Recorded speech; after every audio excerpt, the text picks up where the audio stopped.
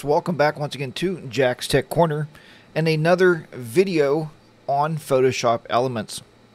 Today, like the title always gives it away, today we are doing selective editing and we're going to be using the clipping mask uh, to help us. Okay, so we'll make it very, very easy to do this by setting up different sections of the picture to allow you to adjust different parts of the picture instead of the overall. We're going to look at that. So let's go ahead and get started right away with this. So if we took this photograph here, you can see the skies are like really, really bright. The water is kind of dull, and the trees are just not that green. So I want to make this photograph pop. So the first thing I'm going to do is I could go up here and I could just click here and say brightness and contrast. All right.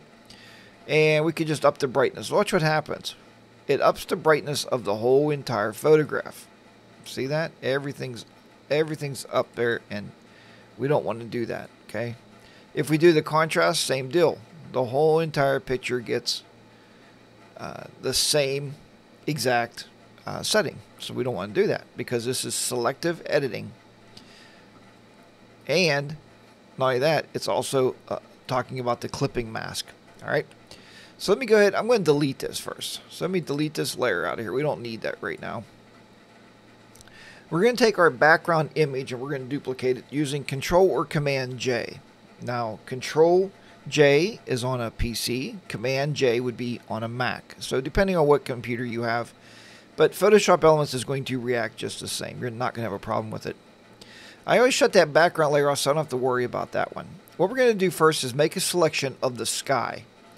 All right, so let's go ahead and do that. I'm going to try use the magic wand tool and see how that works out for me. I click on it and it's not too shabby, uh, but we're going to add some stuff here to it. So I'll go down and I'll click on the brush tool and we're just going to add the rest of the sky in because we want all the sky to be added in. And uh, I'll go right along these trees. Again, you're going to do a lot better selection than what I'm doing. Uh, I'm doing this strictly for the purpose of a training video to show you how we would do selective editing. All right, we're going to get right around here, around these trees, back up, so I can get all the sky. And you can use any of the selection tools you wish to use. I'm just uh, using it here to create a fast selection.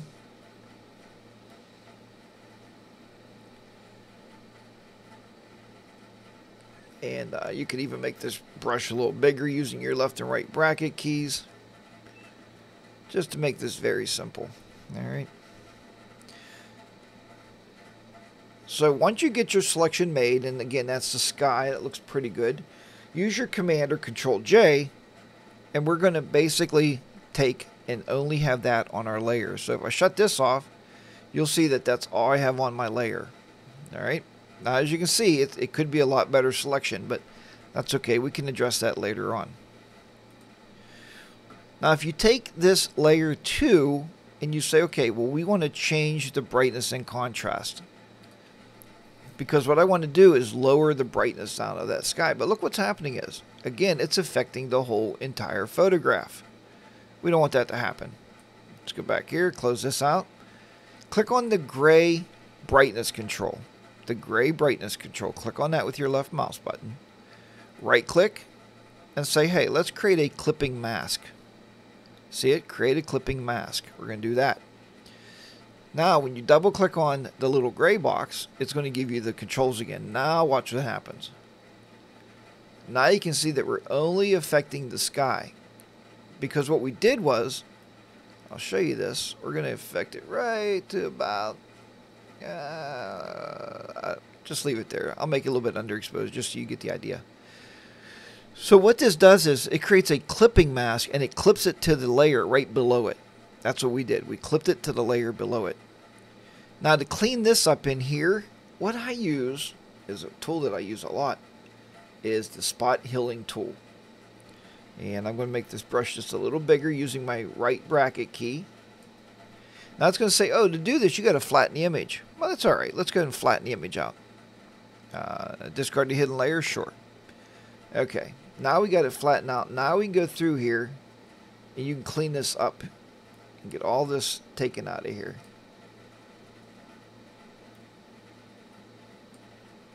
Okay. Right across there. And this is just a nice way to clean this up. Oh, I didn't want to do that. There's a house actually sitting up there, as seen, on top of this hill. I don't want to lose the house. I think it's pretty neat part of the picture. So I'm just going across here right over the trees and I'm just blending this together, these corners. That way, even though our selection was not eh, the greatest, we can still fix it up pretty nice.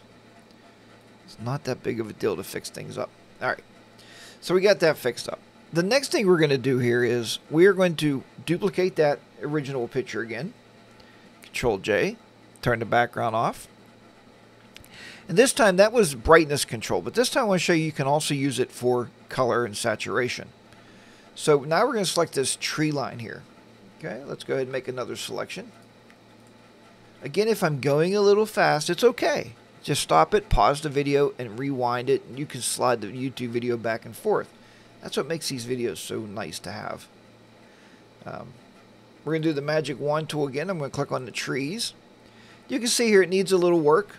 So then I'll go down, click on my brush, and we have add selected. And all I'm going to do here is make this brush a little smaller and add some of these areas in here. Okay. And what I mean by adding is all you got to do is go over these little dots. These dots, some people call these marching ants. You can call them whatever you want, but these are signifying that these areas are not selected. So it's very easy to tell what needs to be selected by just painting over with your selection brush all the dots. And we can get those taken care of, right? See, again, it's very easy to do this. And this and this will work on any picture, any photograph. You can make a selection and you can uh, do selective editing.